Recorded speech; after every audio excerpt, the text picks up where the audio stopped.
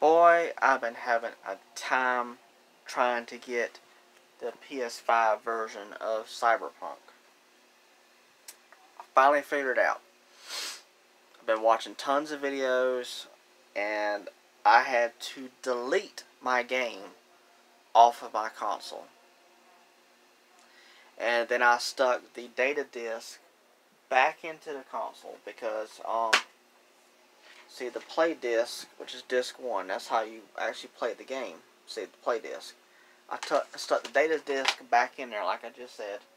It's downloading it and supposedly on the screen when you put the disc into it, the PS5 free upgrade was supposed to pop up on the screen like it is right now.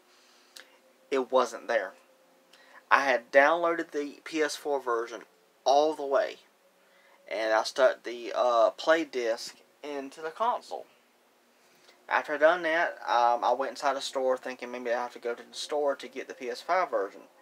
And no, I was watching some YouTube videos and saying all you gotta do is just stick the PS4 version into the console, and then you should get a notification pop up on the screen for the PS5 version, and it didn't pop up. I said, oh my goodness, what am I going to do now? So I logged out of the PlayStation Store, turned the console off, made sure the console was up was upgraded to the latest update, and it was.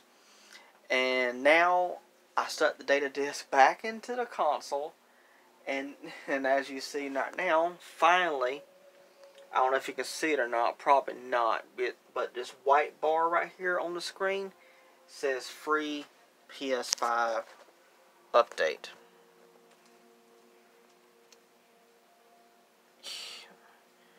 Probably can't see it, but it's it's there. Uh, so now I'm gonna go over to that. See, it says free uh, PS5 upgrade uh, right there. So I'm going to press that, press accept, confirm the purchase, which is zero. Now it says thank you, and download the PS5 version, and that's what it's doing right now. Oh my goodness. What a darn hassle to say it in a decent, family friendly way as much as possible. Good grief, I tell you. I did not understand because when I, I would go into the store and it's like the PS5 version for the upgrade wasn't even available. It was saying a free trial was there. It's like trial. I don't want to play a trial for four or five hours for free. I want the actual PS5 version. And I, like I said, I had to go through all that crap I just told you just to get the PS4 version. Insane. Crazy. Ridiculous. I tell you. Well, hopefully this video helped you out. Maybe. I tell you, I had a time. Hopefully you didn't have a time like me. But I, I sat here, twiddled my thumbs, watched YouTube videos, waiting for the PS4 version to fully install.